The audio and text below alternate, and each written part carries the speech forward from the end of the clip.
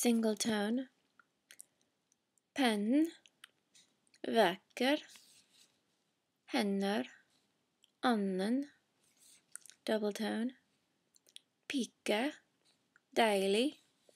Henne, anden,